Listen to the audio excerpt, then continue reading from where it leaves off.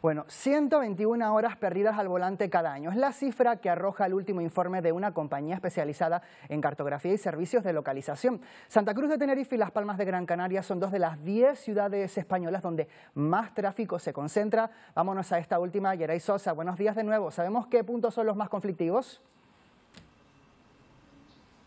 ¿Qué tal, compañeros? Muy buenos días, muy buenos días, Canarias. Sí, lo sabemos. De hecho, gran parte de ese trabajo es el que se desarrolla aquí, en el Centro Municipal de Emergencia, en este control de pantallas. Unas 40 cámaras vigilan a esta hora de la mañana la situación actual del tráfico en aquellos puntos clave de la ciudad de Las Palmas de Gran Canaria. Nos acompaña el concejal de Seguridad, Josué Iñiguez. Josué, muy buenos días. Eh, queríamos preguntarle si tienen ubicados esos puntos, digamos, que a esta hora de la mañana concentren mayor número de tráfico.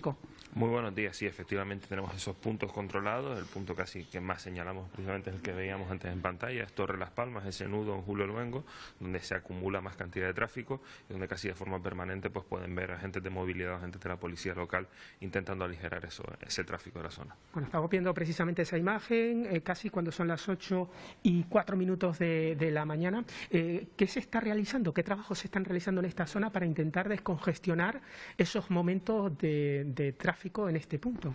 Bueno, pues ahora mismo, a pesar del, del problema agravado que tenemos con el viaducto de Gran Canaria 3, que todo el tráfico pesado circula por esa, por esa zona, pues como se ve, el tráfico es fluido gracias a la presencia de los, de los agentes. Las Palmas de Gran Canaria han hecho una apuesta muy fuerte, muy decidida por un cambio de movilidad que se está produciendo ya en 2021 por primera vez.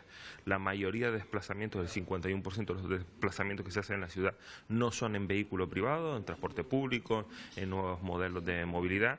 Apuesta por la Metro Guagua que ha transformado la ciudad, por los carriles bici, pues está haciendo que no solo mejoremos nuestra situación del tráfico, sino también los indicadores del medioambiental, de la calidad del aire de las Palmas de Gran Canaria. ¿Qué motivos suelen estar detrás de las retenciones? Porque muchas veces pensamos en la aglomeración de vehículos, pero son muy habituales accidentes mm, a primera hora de, la mañana que dificultan luego la circulación normal. Claro, los, más famosos choques por, acercamiento, esas colisiones, son fruto también de esa lógica de la cantidad de vehículos que hay en la calle. Hay una lógica ya demostrada científicamente, a más carreteras, más tráfico, lo que genera esos embotellamientos y por eso estamos intentando transformar la ciudad en entornos mucho más amigables y en desplazamientos que sean medianamente sostenibles y también nos reporten menos tiempo. O sea, gran red de carriles bus hace que nos movamos más rápido en algunos puntos de la ciudad yendo en guagua que en coche.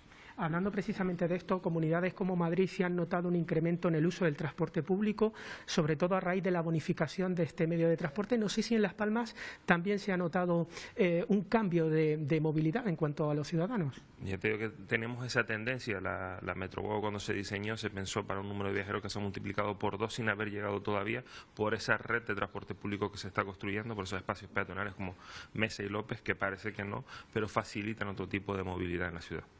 José, muchísimas gracias por estos datos a esta hora de la mañana. Gracias por participar. Muchas gracias a ustedes. Bueno, compañeros, pues como ven, desde aquí se vigila minuto a minuto, segundo a segundo, el estado del tráfico en las Palmas de Gran Canaria, que a esta hora no presenta mayor complicación, según la imagen que nos muestran aquí desde el centro de pantallas del SEMELPA. Gracias, Geray. Buenos días.